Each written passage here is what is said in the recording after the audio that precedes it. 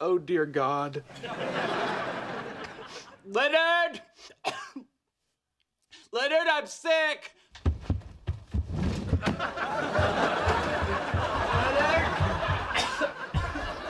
Leonard, I'm sick!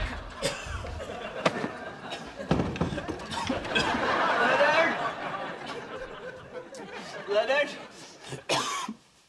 Leonard! Leonard!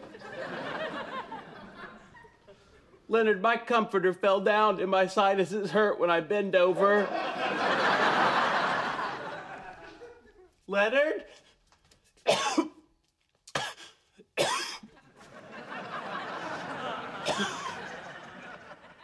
Ow.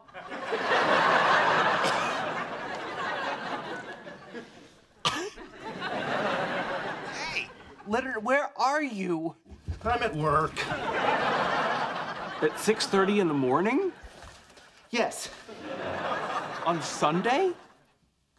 Yes. Why? They asked me to come in. I didn't hear the phone ring. They texted me. Well, as I predicted, I am sick. My fever has been tracking up exponentially since 2 a.m., and I am producing sputum at an alarming rate. No kidding. Only that, it has shifted from clear to milky green. All right, well, get some rest and drink plenty of fluids. What else would I drink? Gases, solids, ionized plasma? Drink whatever you want.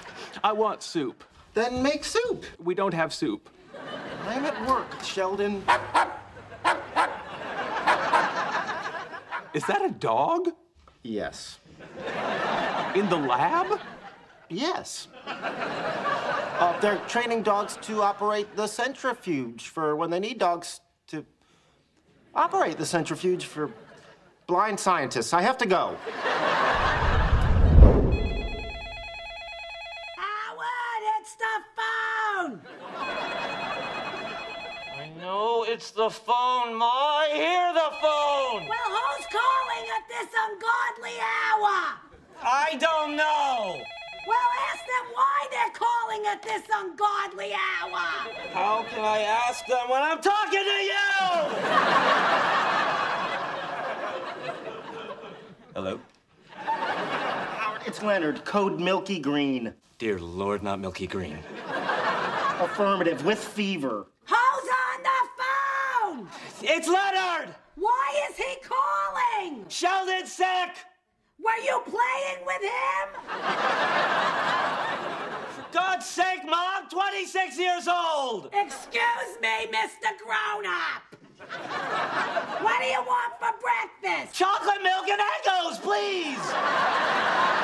Howard, listen to me. Wait, hang on. Call waiting. But no, don't, don't. Hello? Howard, I'm sick.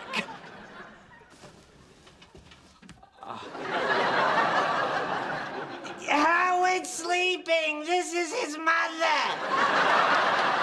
Why are you calling at this ungodly hour? I need soup. Then call your own mother.